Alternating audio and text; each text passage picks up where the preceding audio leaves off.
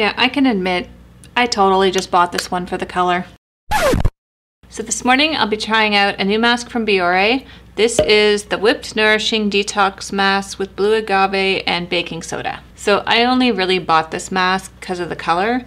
I thought it was blue and cute and kind of fun, which is really not the best reason to buy skincare. So I picked this up for $11.99 and you get 110 grams of product. I'm not sure what that translates to in ounces. Um, so 110 grams ends up equaling 3.88 ounces. And if you're new to my channel, one of my favorite products to review are face masks, and the link to my playlist will be in the description box below, or you can click right up there. Also, if you're enjoying this video while watching it, please give it a thumbs up. It helps me out with the weird YouTube algorithm. If you'd like to know more about this mask, don't go anywhere, just keep watching. So one of my issues with my skin is uh, dryness. My skin typically leans more on the drier side. So this mask says it's great for combination skin. So it's not really designed with my skin type in mind, but I bought it anyway because I wanted to see if it was any good for dry skin. And on Biore's website, it says, experience an intense, cool, pore tingling clean. Specially formulated for combination skin, this creamy mask helps eliminate impurities, lifting away dirt and oil to purify clogged pores. With natural baking soda, known for its ability to deep clean. So for ingredients, there are a mixture of good ingredients and not so good ingredients for dry skin, and uh, there's a couple of bad ingredients for all skin types in here.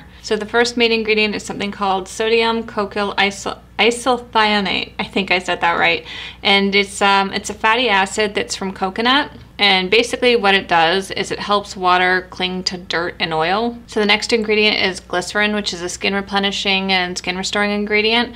And what it does is it doesn't really moisturize your skin. It helps hold water up against it and this leaves it feeling moisturized and hydrated. The next ingredient is salicylic acid, which is a skin exfoliant. It's not necessarily a bad ingredient, but it's probably not the best ingredient for my skin types as it can be a little drying. There is unfortunately fragrance in here. I have no idea what this smells like yet, but there is, from the looks of it, quite a bit of it. And there's also menthol, and there's quite a bit of that in here too, and I'm not too terribly thrilled about it. Menthol is basically what's in Vicks VapoRub. It leaves that ice cold, cooling, refreshing sensation on the skin. It really depends on the product for me, but I find if I leave something with menthol on my skin too long, it can have the opposite effect. And the last ingredient is something called agave tequilana. And apparently this is supposed to be good for fine lines, but the only sources I can really find on this ingredient are from other blogs. They're not really the most reliable sources. So I'm just gonna take that one with a grain of salt. So how to use. Massage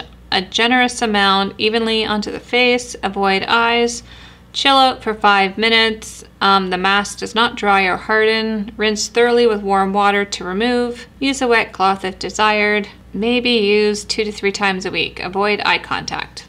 So although there is fragrance added to this, it's extremely mild.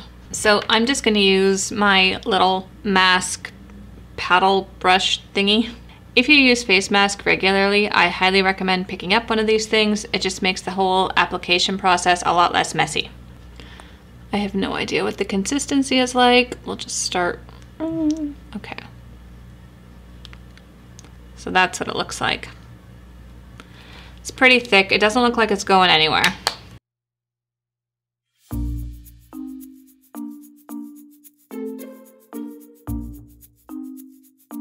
Yeah, I can admit, I totally just bought this one for the color.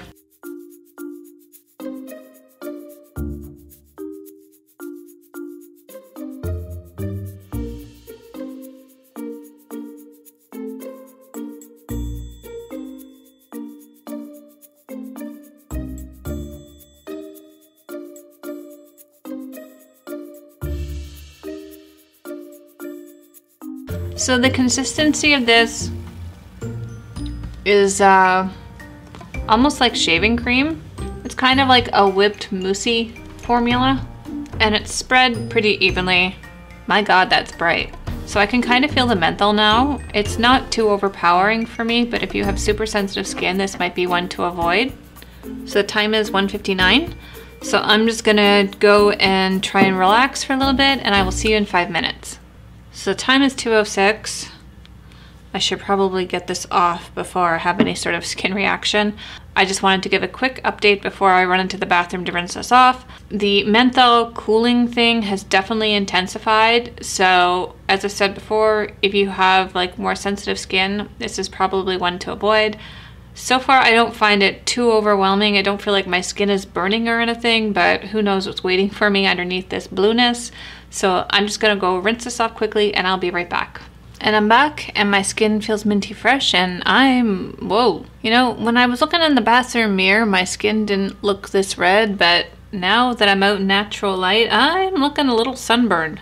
Um, so obviously uh, this one did not agree with my skin.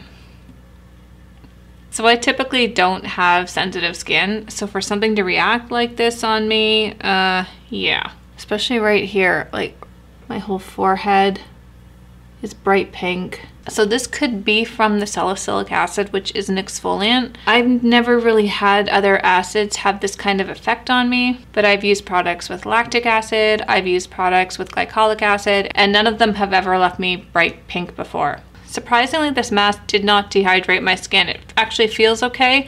It just looks not too great. So at this point, I can't say that I would reach for this one again. Um, it's not necessarily a bad product, it just probably wasn't the best for my skin type. If you don't have sensitive skin or you don't have dry skin, this mask might be okay for you, but if your skin typically is more on the drier side or on the sensitive side, this is probably one to stay far away from. I've been sitting here for a couple of minutes since I've last rinsed this off and it's, I'm still like pretty red all through here. And then this side is actually not too bad, but for whatever reason, this side, it's left quite a bit of a red splotch there. So if you have any questions about this product, just leave them in the comments section below. I hope you enjoyed this video. If you did, make sure you give it a thumbs up. Don't forget to hit subscribe before you leave. Thank you so much for watching and I will see you next time. Bye.